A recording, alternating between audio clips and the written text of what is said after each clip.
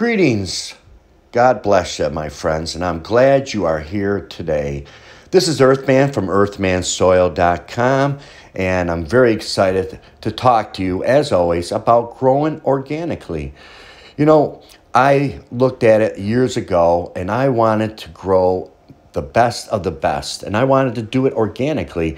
But I come to realize in my research that you need living soil in order to do that. And that's what we're all about here at Earthman Soil. We're about putting life into your soil. So let's talk about life in soil.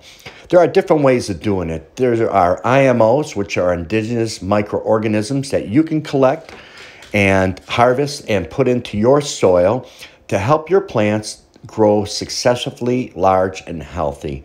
And these are great, but I went a step further and I looked at other type of bacteria and we're going to look at these bacteria today which are called plant growth promoting rhizobacteria.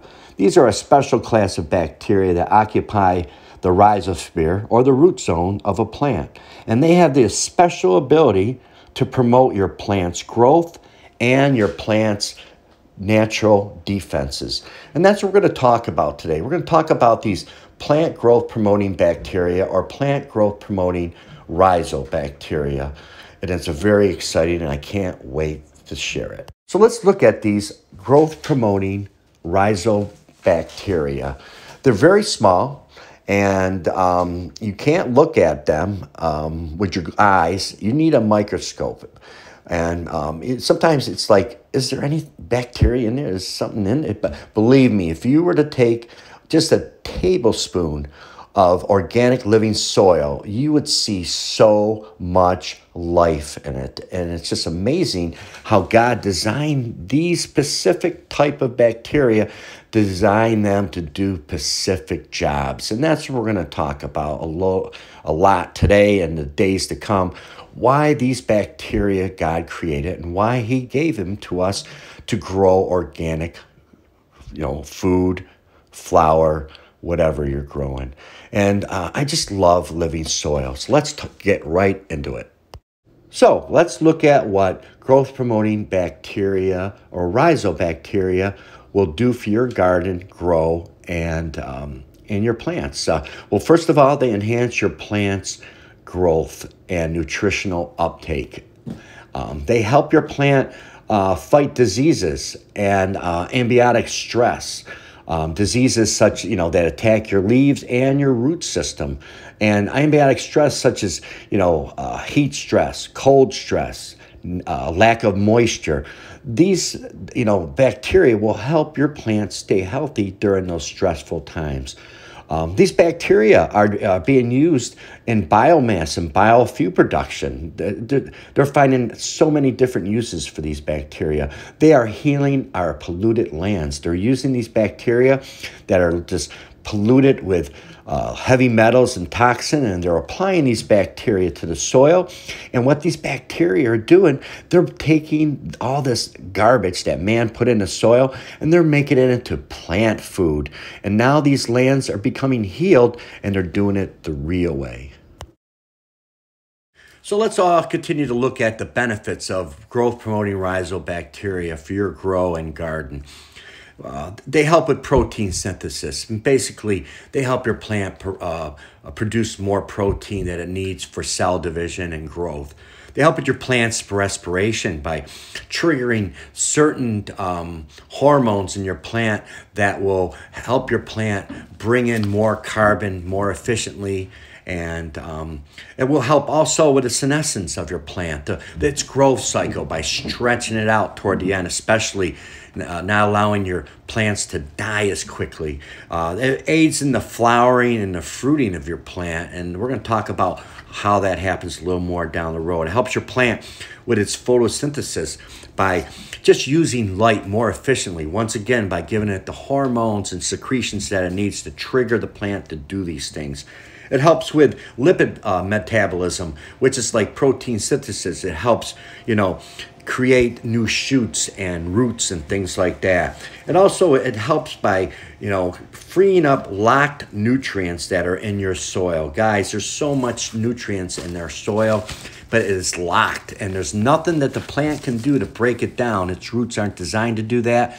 That's where that's where the rhizobacteria come in. They break down those nutrients and make it available.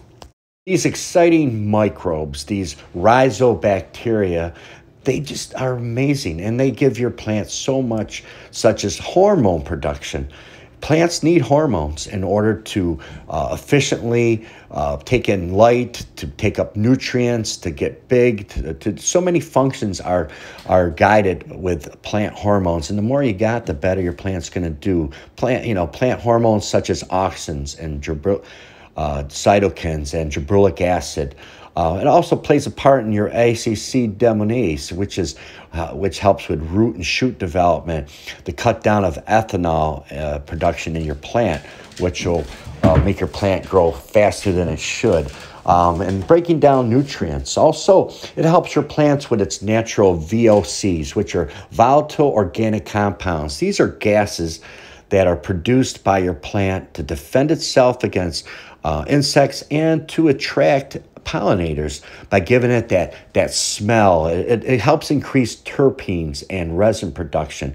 It helps your plants smell better and, and taste better. And, um, and I could just go on and on with how important VOCs are, but bacteria, they do that. It's incredible how deep this goes because what is going on here, your bacteria and your roots, they have a symbiotic relationship. They will feed the roots and your plant everything it needs to stay healthy and grow. And in return, your plant will leak carbohydrates and sugar, keeping them alive. And the bigger your plants get, the more carbohydrates they leak. And that's why bacteria do what they do in plants. These amazing soil engineers, these plant growth promoting rhizobacteria, what they do is they have a direct effect on your plant's growth by facilitating the availability of nutrients such as phosphorus, also potassium, likewise nitrogen and uh, trace minerals, which kelp meal has both, and azomite. Um, you know, all those other nutrients that I did not mention need to be broken down. They're locked in the soil, and that's where the growth promoting rhizobacteria, they will make it available to your plant.